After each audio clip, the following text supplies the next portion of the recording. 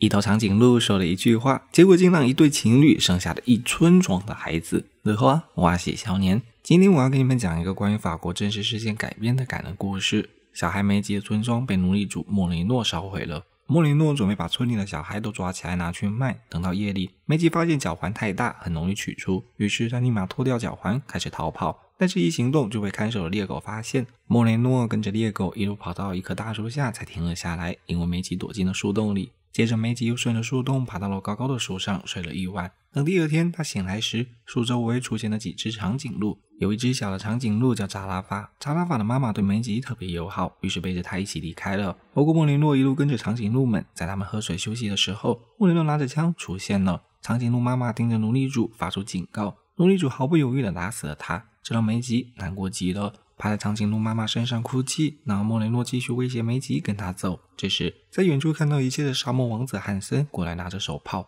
威胁莫雷诺赶紧离开。汉森的出现让梅吉躲过了一劫，但是汉森并没有怎么表示，他只是默默的给扎拉法套上了绳子，牵着他走了。不过梅吉知道长颈鹿妈妈肯定想要保护好扎拉法，于是他发誓完成任务，就一路在后方追着汉森。两人进入了荒无人烟的沙漠，途中善良的汉森会把自己的水壶扔在地上，等梅吉来捡。沙漠的炎热和无垠很快就让梅吉倒在了地上，但最后汉森还是回来带走了他。不过扎拉法一直不肯喝水，除了梅吉喂他才肯喝水，这让汉森有些惊讶。但是汉森依旧表达出他的态度，那就是等明天找到马哈茂德要吃的后，就找个大篷车送梅吉回家。等到夜晚，梅吉本来想带扎拉法逃跑的，但是面对茫茫的沙漠，迷路就是死亡，他最后放弃了。等找到马哈茂德，汉森买了一只西域圣牛索恩，好产奶去喂扎拉法。等到傍晚，汉森又在对方那买了送梅吉回家的大篷车票，然后在夜晚就带着扎拉法和索恩偷偷离开了。等梅吉一大早醒来后，发现汉森消失了。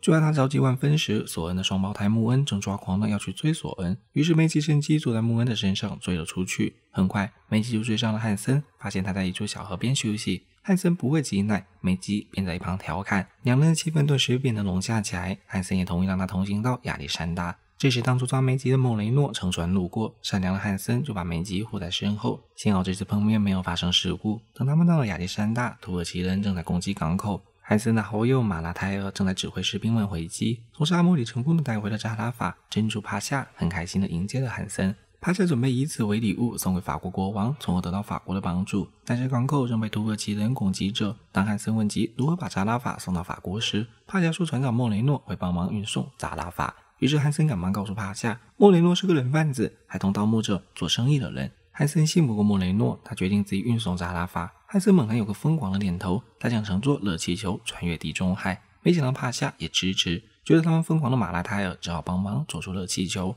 在得知汉森的任务后，梅吉也想跟着去，但是汉森却不同意，这让梅吉伤心极了。第二天就头也不回的坐马离开。很快，汉森和马拉泰尔就带着扎拉法和两只圣牛一捆干草出发了。由于半路上热气球太重，于是汉森果断的把两只圣牛给扔了，就连干草也扔了。两只牛和干草掉到丽娜的海盗船上，这时马拉泰尔才说，其实他把梅吉藏在了干草里。之前坐马离开的人根本就不是梅吉。于是妮娜和他的手下盯着从天而降的梅吉，意外的没有伤害他，只因为妮娜一眼就喜欢上了这个孩子。海盗们好奇热气球里的宝贝是什么呢？于是，一路跟着热气球。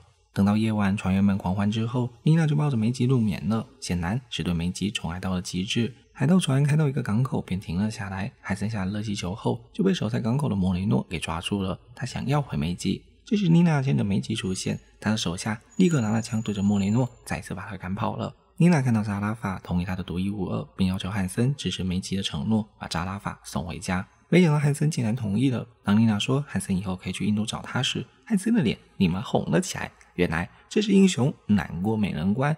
最后，汉森他们道别妮娜，再次坐上了热气球。在热气球上，汉森立马反悔说：“继续去巴黎。”梅吉只好无可奈何，只能生气地说：“一有机会，我们就会逃走。”很快，他们的热气球遭遇了暴风雨，而被迫降落。在汉森和马莱泰尔拼命地守住他们的热气球时，梅吉偷偷要带扎拉法离开，在路上却被饿狼包围。幸好的是，木棍和索恩及时出现，帮忙抵抗群狼的撕咬。等汉森赶来时，索恩已经倒在地上了。梅吉痛苦地趴在索恩身上。看到这一幕的汉森似乎想到了什么，于是安慰梅吉说：“他会投胎成别的动物回来的。”这时，一只蝴蝶飞到了梅吉身边，梅吉高兴地大喊：“这一定是索恩！”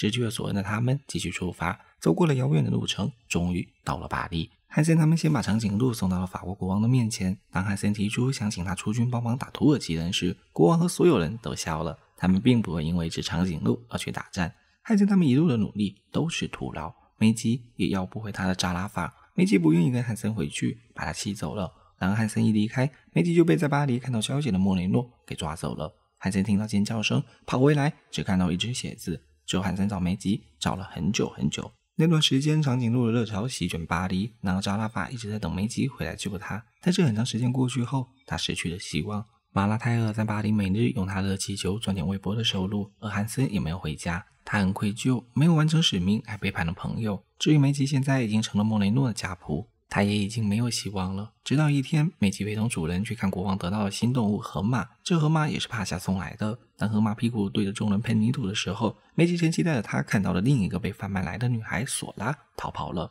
两人一路逃到一个大雕像上，美吉就要找到扎拉法才肯回家。这时他穿出屋顶，看到马拉泰尔的热气球，于是梅吉带着索拉找到了马拉泰尔，又找到了大醉的汉森，但是汉森已经醉得睁不开眼了。于是他们都离开了。直到汉森被赶出酒馆，跌跌撞撞地跌进水里，才变得清醒。而此时的马拉泰尔驾着热气球，带着他们到了动物园。梅吉呼唤扎拉法，但是扎拉法太大了，已经装不进热气球了。这意味着他们没有办法带他走了。没想到扎拉法和梅吉心灵对话，扎拉法让他回到自己的国度，然后组建家庭。你应该带着爱你的人回家。于是梅吉听了他的话，他哭着和扎拉法道别。但不料莫雷诺又出现了。就在他要打梅吉时，清醒后赶来的汉森用刀制止了他。可是当汉森要在梅吉上的气球时，莫雷诺开枪打中了汉森。汉森最后一句话是：“请请原谅我，我的儿子。”随后就闭上了眼睛。看到这一幕的扎拉法为了让梅吉逃离，于是他把莫雷诺摇起，梅吉也趁机上了热气球。等莫雷诺摆脱扎拉法，想过来抓住热气球，却被他们咬了下去。三人用了一年才回到非洲。索拉和梅吉组建了家庭，生了很多的孩子，组建了村庄。而最后，汉森也没有死掉，他被好心人救了回来。康复的汉森去印度找到了丽娜，和丽娜生活在了一起。片名《长颈鹿扎拉法》。这部二 D 动画的画风其实也是让人眼前一亮。法国动画的画风总是会相对较为奇特。在看开头的时候，很多人怕是以为就是梅吉和奴隶主的斗智斗勇故事，结果就成了和汉森的冒险故事。但是其中几个细节，我就认为让我看得很气愤。梅吉的执着让他多次作死，每次遇到险境，几乎都是汉森出面帮助他，但是我却没有看到他道谢过。结果这份执着在最后结尾，竟然因为动画拟人态的手法，扎拉法开口说话而被打破。因为他的话，梅吉竟然带着索拉回去生了一村的孩子。虽然汉森没有遵循承诺，但在故事中反而发现汉森的人格魅力会强于梅吉。其实法国动画的浪漫真的让人很容易沉迷。汉森最后还不忘骗观众一把眼泪。每个角色的人格都很是明显：索拉的胆怯，梅吉的执着，汉森的无畏，女海盗的豪爽。而索恩和穆恩其实也是采用了拟人态的手法，这种操作更能让人体验动物的思想。历史上，扎拉法是真实存在的一头长颈鹿，甚至在法国还是一位大明星。节奏不紧不快，也算是一部合家欢的动画。我是少年，一位难以看遍人生百态的电影解说。如果你喜欢我的解说，请点个关注。你们每一个评论，少年都会观看，在时间允许下尽可能的回复。感谢你们的支持和建议。那咱们下期再见，拜拜。